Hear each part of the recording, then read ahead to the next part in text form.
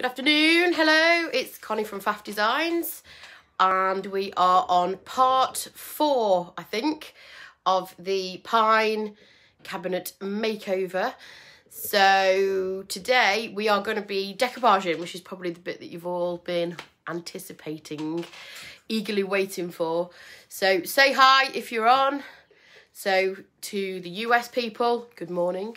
To the Australian folks, good evening or night.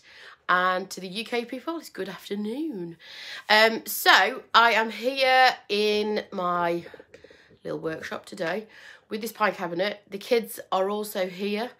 Hi Liz, so is the other half. So there will be background noise. Um, but we are here today doing this decoupage with the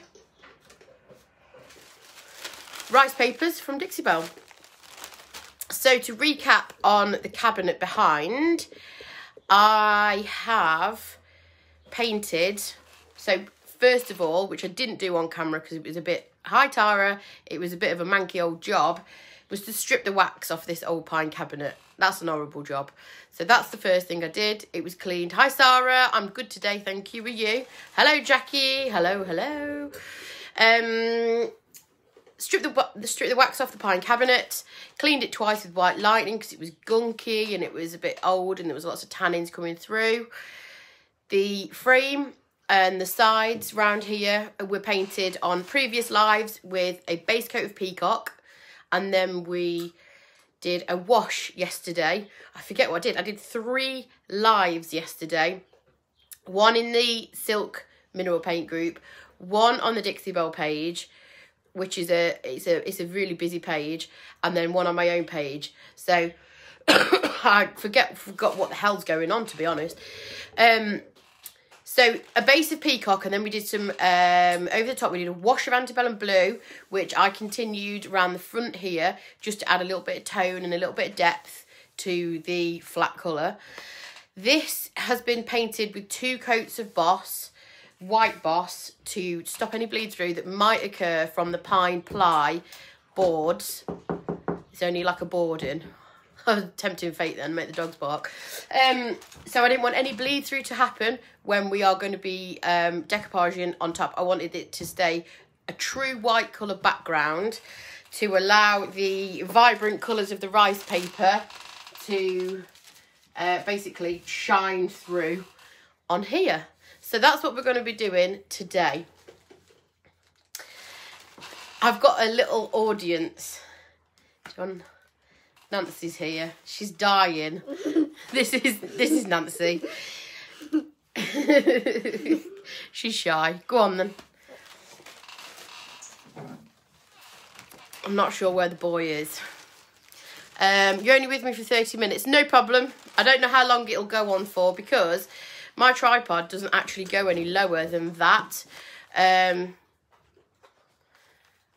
the boy is also here. Are you coming to say hello? You have to come here though, they can't see you. My, don't kick the tripod. Come here. This is the boy. Oh, did Emily see Nance? Emily, Donna's watching and Emily saw you. Hi, Emily. All right, it's not a school reunion. Now, go on. No. and this is the boy. This is Herbie. So Nancy is, how old are you, Nance? Eight. Nancy's eight and Herbie is Four.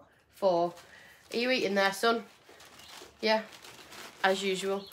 Uh, so they're the kids. They finally made an appearance. Um, it, it is the boy. Emily waved. She waved. Nancy went. um, so, the first thing that I'm going to do with the decoupage paper, can you see the border around here? Obviously, there's some barcode and writing that tells you um, DixieBellePaint.com, bells and whistles branding. Uh, we don't, we don't want that. We don't want that on there. They are adorable, Patsy. I'm going to say like 85% of the time adorable. The rest of the time, um, not so adorable. You can see him getting the train stuck in his hair. Yeah, he's got long hair, hasn't he? I actually we cut it last summer. My, myself, I cut it with a one of those things, you know, like a shaver thing. or not a shaver, you know what I mean, one of those. And um, it he looked a bit like he should have been in prison. It, it did not suit him. Uh, yeah, monsters definitely, Sarah. Um, so I've let it grow, and I actually really, really like it. Hello, Laura. You all right? Feral, they are. Didn't you see them? So the first thing I'm going to do is trim this off here. Um, trim this white border. Now, actually, hang on, where are we? It's a little bit wider than, no it's not, is it? Just. So it should just fit in that panel, I'm hoping anyway. I'm just going to trim this edge off here.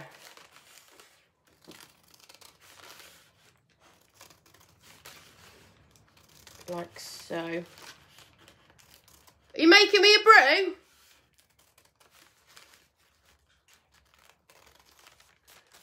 He's buggered off, hasn't he? Hello, Bella. Hi. You're not late. I'm not really um not doing a lot at the minute. I'm just trimming the border off here. Uh, he does he does look adventurous, doesn't he? He does look mischievous, and that's because he is. Andy's at home today as well. Should be making himself useful and making me a cup of tea, but he's disappeared.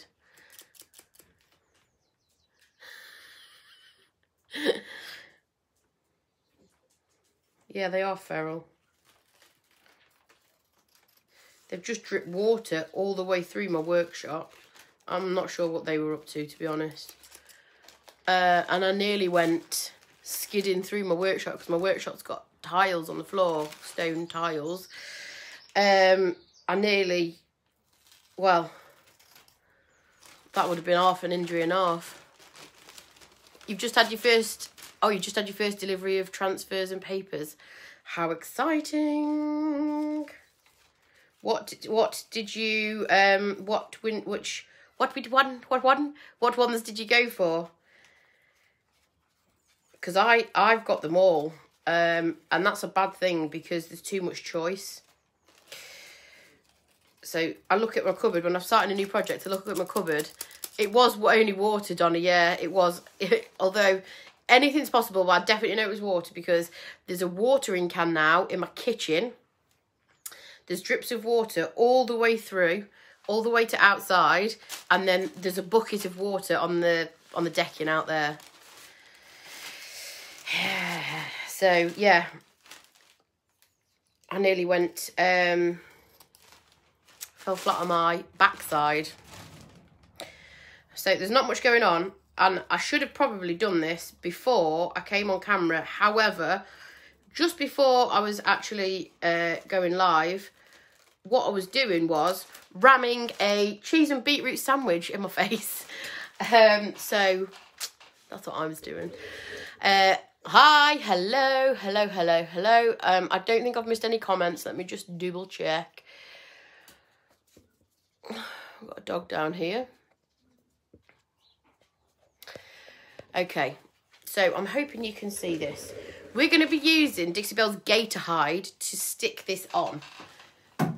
So, obviously, I don't know if you guys have noticed as well, the really, really clever thing about these rice papers is that you can tile them. So they are, um, if you're going to fall, please do it on a live. Ugh, can you just get off my page? You're so horrible. Um, so if you haven't noticed, the papers, they continue horizontally and they also continue vertically. So the patterns match up, which is genius because so many rice papers and, and napkins um, and things. Cheese and beetroot. What's your beef with cheese and beetroot? It's a good sandwich filler. Um, so many papers sort of have a nice pattern, but then when you try and join them, it's not the same. It doesn't continue. So, um, oh, he's tiptoeing around now that means trouble.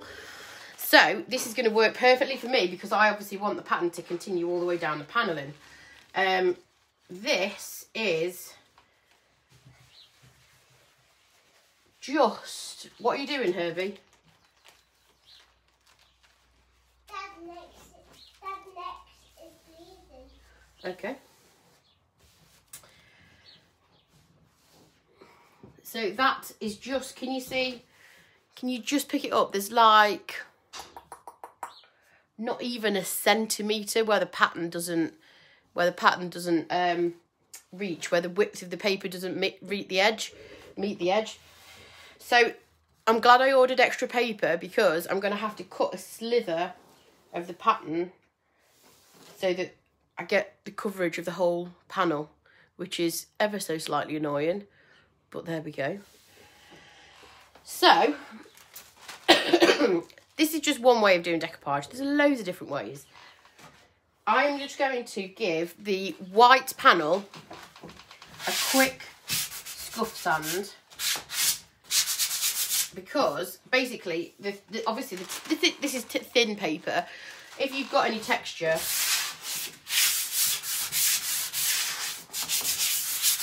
it'll obviously show through when you stick your paper on. So I'm just using one of the Dixie Belle sponges, sanding sponges, which um, last quite a while, and they're not like a normal grit. It's like a it's like a mesh. I really like these for standing in between coats. Um, could I do magic with wax? I, oh, I don't know. It's tiny. The gap is tiny, but I just feel like I just feel like it would look better if I snipped a bit out. It's that big. Can you see? Uh, that side. It's from there to there. It's a tiny gap to not fill, which is a bit annoying. But there we go. It's a bit. It, decoupage can be a bit fiddly. The good thing is these papers are actually really tough. So um, not like, oh, I'm glad your dog's been sick, Donna, because at least you have to go. And you can't abuse me anymore. Um, these will take a bit. They're not like a napkin where it's really, really thin. So, I have a brush which um, is cut less edge off. I could, but then there'd be a white board around it. And then I'd have to hand paint to match the pattern up. I ain't much of a hand painter, I'm not going to lie. We'll cross that bridge when we come to it. I'm just going to show you how I'm going to put it on with Gator Hide. So, Gator Hide dries, super tough, and it is also um, water, it repels water. Um, so, it's good as it is. It's the toughest top coat that Dixie Belle do, basically. Um, and I have tried decoupaging with the clear coat and uh, in satin, and I've also tried decoupaging with gator hide, and they both give slightly different results. This makes the paper more see-throughy, weirdly. So if you want, um, like I said, this is why I've done this white behind. If you use the satin, it's not quite as strong adhesive-wise. This sticks it and sticks it tough. So that's why I'm using this today. This brush is just a cheapo brush from the range. Uh, I think it was in a pack of three. Um, and I use it for things like slick stick and, um, you know, rubbishy stuff. Because I don't want to use my nice Dixie Belle brushes. Especially if I'm going to be gunking it up with, with gator hide. Right, so, um, all you do is basically paint your gator hide on. Make sure you're getting it in all the edges and corners because that's where it'll lift. If you don't get it in there, it'll start peeling back. So you want to, and it's it's a relatively thick layer that I'm putting on.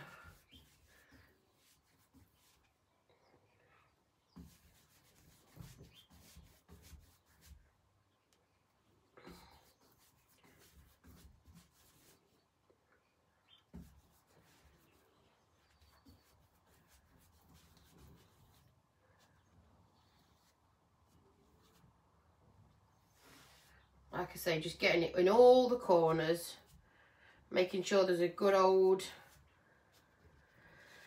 a good old layer of gator hide on. So that should be enough. I'm going to put that on the floor so that it doesn't drip everywhere. Then you line your paper up like so.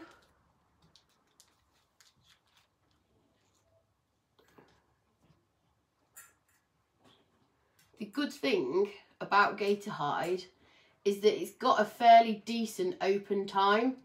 So some adhesives that I've used go sticky straight away and you can't do anything with it.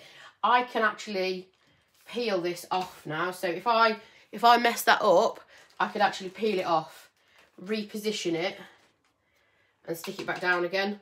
So that's how tough the paper is and that's how um, maneuverable Gator Hide is, which is why I really like using it as a sticking medium. So I've used Mod Podge before, which I used to love, but it does go sticky really, really quickly. So if I'd have put that on with Mod Podge here, and then I tried to pull that off to reposition it, it probably would have torn the paper. Next is cling film.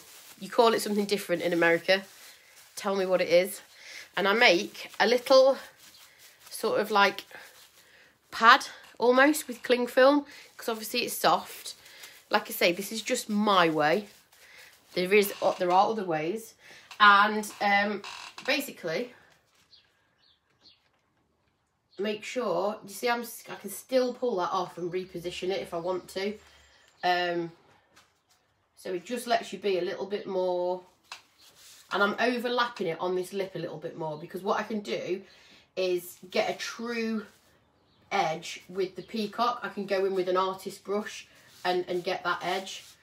Um, and then all I do is get my cling film and just smooth it. You see I've got a wrinkle here.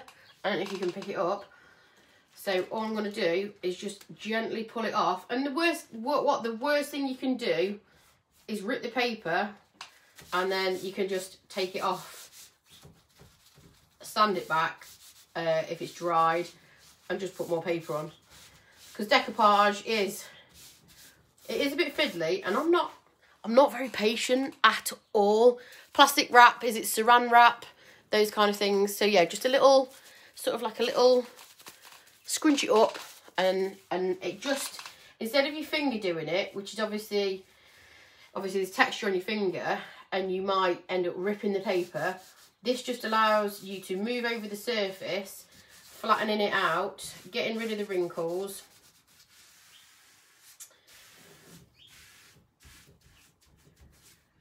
And this paper does have like a fibre that runs through it because it's a rice paper. So there is going to be a little bit of that. Because I put it on a white background, it's probably not going to be as obvious if it was on a coloured background but there are little don't know if you can see it on oh you can see on the back look. Can you see the sort of like they're not they're not wrinkles in the paper. That's that's like the fibers of the paper. It's just the style it's just, the, it's just how it is basically. Um so now can you see why I put the white background on? Because if I'd have put something else behind here, which is what I see quite a lot in decoupage. People would, you know, some people would have painted that whole thing peacock and it does alter the colour of the paper that you're putting over top, especially if it's um, like rice paper or tissue paper um, or paper napkins. Even if it's a solid colour and it looks a solid colour on the background, it can still affect the pattern when you've used your sticking medium because it makes it a little bit more transparent. So,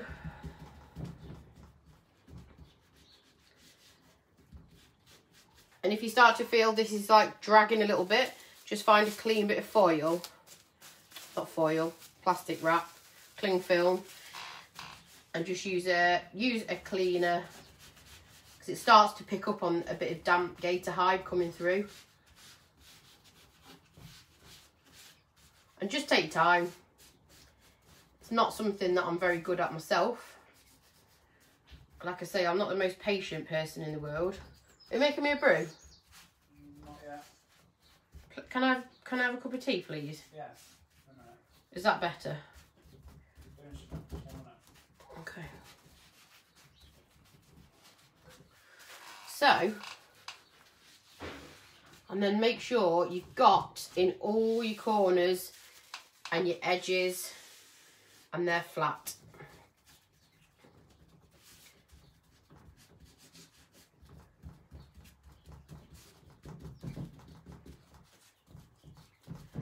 The thicker the paper, the less likely you are to get any sort of wrinkles.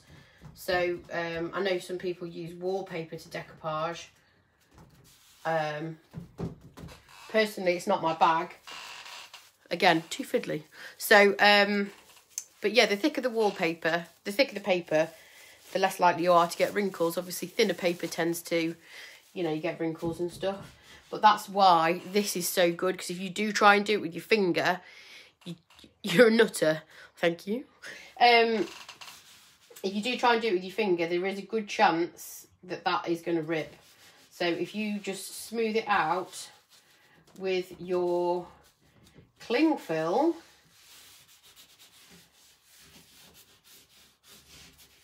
it doesn't, it's less likely to rip, is what I'm saying. You still have to be careful. That's that. Whereabouts in North Wales are you? My Andy's um, family are from, uh, well, live in North Wales. Hi, Julie. Yes. Um, so I'm using Gator Hide to stick it on. So all I did is used a um a, a fairly thickish layer, not so it's dripping, but decent coverage of Gator Hide. I used an old brush. I get these in sets of three from the range. They're quite good. Um, applied that onto the surface and then laid my tissue flat, the rice paper flat, and used cling film or um, plastic wrap or saran wrap, whatever you call it. Um, and I just used that to flatten the surface out and get rid of any wrinkles. And that's really it. Um, have I missed any more? Hello, is that Shabs? Is that Sharina on? You never look at my lives. Um, in between Rhyl and Chester. Oh, really? Um, my other half's family live in Prestatyn. Well, his sister and their family live in Prestatyn, which is in between Rhyl and Chester. Also closer to Rhyl. It's not far from Rhyl. So yeah, they live there. Interesting fact of the day. Um, so that's pretty much it. And then all you do is continue that down. Um, like with anything, if you're joining it up, it's going to be, there's going to be a little tiny join. The beauty of this paper is it's so thin, the join isn't going to be as obvious if, if it was a thicker paper or, you know, like a wallpaper or something. You're not going to get a, a seam. Um, so I'm going to try and get as good a, a closer as I can match to to that seam. And the pattern will continue down there. Um yes and then once it's dry yeah i know you're far too busy aren't you sharina to be on facebook in the daytime. um so once it's dry oh you don't even have to wait till it's dry. You can you can put another coat of gator hide over the top for protection which then seals the paper in which if you want to then distress or wax over the top it means that you've got that layer of protection over the top of the rice papers um cheers sharina so Sharina, who's on here with Shabby Nook, she's my friend that I was telling you about the other day, yesterday when it was, whenever it was. Someone was asking me about my business and hello Donna back. I'm gonna have to ban you from my page. Um, I was telling you about the the lady who's a paint stockist. It's her. So we were talking about you the other day. No problem, Sarah. You can watch me on replay. That's pretty much it, though. To be honest, simple, isn't it?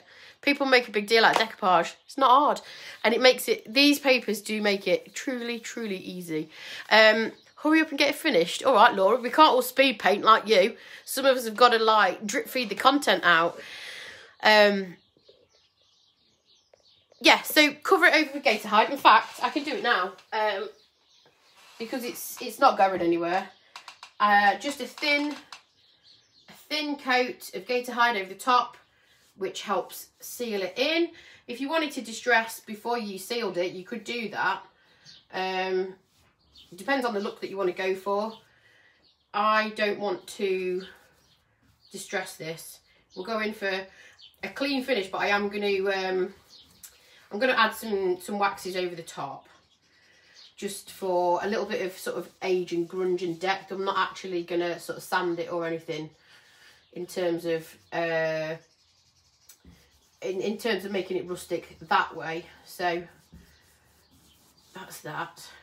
It's just a really, really thin layer. People are scared of gator hide. I see it time and time again in groups and people are like, oh, gator hide. Oh, yeah. But um, it's all right. And I'm not like, I'm not a top coat queen or anything, but it's it's fine. It's, it's, a, it's, a, it's a grand product. So that's that. I can see a little bit there where there is a bubble or something. There we go.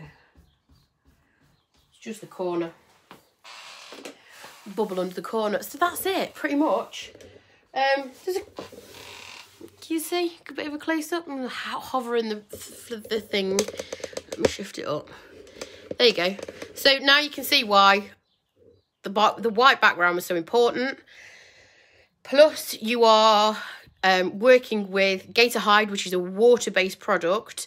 So again, why the boss was important to put on here because as soon as I'd have top coated that uh, or put the gator hide on for the sticking medium, that would have, if it was just a white chalk paint and not boss, that would have pulled the tannins through and we would have had like a mucky brown tinge to this, which might look cool in some cir- circumstances, but not. Uh, that's not the look I was going for on on this particular one. So that's why I've used Boss as this for the stain blocking uh, properties. And then I, I just went straight over the top of the, the white Boss. I could have used a layer of put chalk paint on here as, as well, like fluff or cotton. But um, I didn't. I went straight over the top with Boss. It works absolutely fine. So that's that. Um, and not too many interruptions with the kids. Other halves finally put the kettle on. You can't get the staff these days, seriously. Um, the difference between Gator Hide and PVA glue watered down, um, I haven't bossed them painted, no Sharina. This is just straight onto white boss. Two coats of white boss because it was pine, plyboard, pine plyboard. I didn't want it to bleed through the decoupage. Um, and then what was the point of putting white paint on? It's already white, so I just went straight over the top with boss, uh, on top of boss.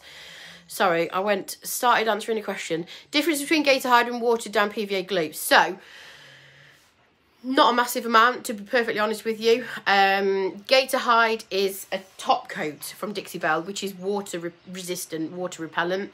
So it's going to offer more protection than PVA glue. But in terms of sticking medium, uh, it is going to act similarly. The good thing about Gator Hide is that it's got quite a decent open time. So, like you saw, I, I, peeled it back and stuck it back on where it was, you know, there was a bit of a wrinkle or whatever. PVA starts to go sticky quite quickly. Um, whereas Gator Hide, you've got that bit of open time for manoeuvrability if you do cock up or anything. But the, there are loads of sticky mediums. You don't have to use Gator Hide. It's just that, number one, I'm a brand ambassador for Dixie Belle, so I have Gator Hide, you know, in in um, my cupboard and stuff. Um, but I have previously used Mod Podge, and like I say, I've always got on quite well with Mod Podge. Uh, but when I tried the Gator Hide method, I did notice that, like I say, it stays um, it stays open for longer, so it doesn't start to immediately go tacky like Mod Podge dries. I find really really quickly and it starts to to stick go sticky really quickly. So there is absolutely no way if i cocked up on that and then how i peeled it off that probably would have ripped with Mod Podge because it, it does start bonding really really quickly. Whereas gator hide like i say it stays wet for longer if that makes sense. I hope it does And you can also do this method with any of the clear coats from Dixie Belle. So the matte, the gloss and the satin. I've tried it with the satin. I find that it does a similar kind of job, but it's not as good a sticky medium as Gator Hide, but it still does the job. Um, so that's that. I hope that helps. So you've got the cling film, you've got the thing. Yeah, so I'm just going to carry on tiling this down. Um, uh, if you've got any questions, let me know. If you want to purchase any of the products that I've used today, apart from the cling film, that's out of my kitchen. You can't have that. Um, then they are in the link above my head. Part five and the final. Thank you. Filled it right up to the top. Part five um, and the final part of this is going to be the waxing. Um, so I will be doing that. Let's see how we get on with decoupage. I want to say tomorrow. What day are we on? What day is it? Is it Thursday? Thursday? Yeah. I could do it tomorrow. So I should have had this done by then. I'll create another event on my page. Um, when I when I'm a little bit further ahead with this because the kids are around and stuff today. So who knows what can happen? Who knows? So I'll carry on. Um, I'll put some updates in my stories a little bit later on just to see how I am getting on with this bad boy. I think I'll be okay until I've got to start doing this fiddly little bit here and then I might start getting cross. So yeah, part five, waxing, finishing off. Um, I'm going to do the top. I'm going to do some clear wax and black wax on here and on the white panels on top of the parrots. I've got to make sure that's completely dry as well. So I, like I say, I'll make an event. Cheers for watching, as always. It's been fun doing this on a live, hasn't it? Um, and what I'm going to do, I think, is I'll probably upload all of these lives to YouTube if you wanted to watch them one after another. Um, Lord knows I'd want to watch them again if you'd already seen them. I think I'm probably enough. Uh, I've had enough lives for one one week for you know get sick of me. So, but they will be. It's not coffee. It's tea. It's not a bad brew. It's not a bad brew. You've got the job. Go on. Go and do some work. Right. So. um So yeah, part five will be the waxes. Here he is. Here's the boy. Again, what are you up to? Playing. Okay. And I'll, uh, I'll make I'll make an event in the in my page. So thanks for watching as always. See you later. Have a nice day in the sunshine, whatever you're up to today, and I'll probably catch you tomorrow.